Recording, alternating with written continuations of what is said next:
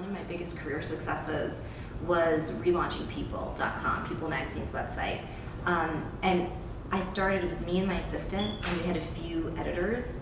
Um, and three years later, we were at 100 people, you know, working on that website. Mm-hmm. And we were doing, you know, we were the 10th most profitable business out of 200 businesses at Timing. Like, we really turned that into a powerhouse. But I think about like the team that I, that I built, mm-hmm. and I think about like how I led them, and it, it was always like I always listened, I always respected, I was always very curious. I really do feel that I created an environment that felt psychologically safe, where people on the team felt like they could disagree, you know, and they weren't going to be punished for that. Like, you, I, I welcomed that. I welcomed debate. I wel- so I think it's all about, you know, you can be ambitious, but you do also have to like bring people along.